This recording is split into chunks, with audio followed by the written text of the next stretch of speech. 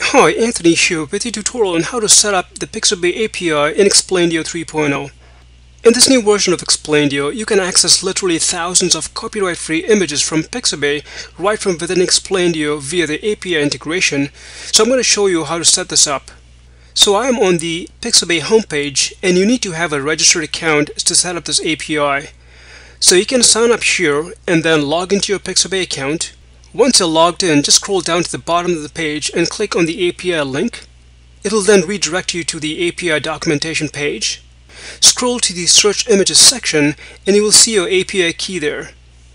Copy this API key and then head to Explaindio and then click on the settings icon up top and in this dialog box you will see the API integration for Youzign and Pixabay.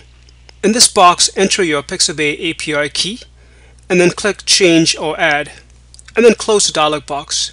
So once your API is set up, you can access Pixabay pictures or images directly from Explaindio. In order to do so, create a project and then create a scene. And then next click on the Add Bitmap Image button below. And then choose Add Image from Pixabay. You will then see the Pixabay API from where you can look for images you can use the search box right up top to look for specific images and then click on the respective image to place it on the canvas. If you want full access to the Pixabay API for high resolution images, you can go back to the documentation page and then scroll down to the bottom of the page in the section where you will have to send a request to Pixabay giving them the necessary information and then they'll accordingly approve the request. Pixabay is a great site for free images that can be also used for commercial purposes.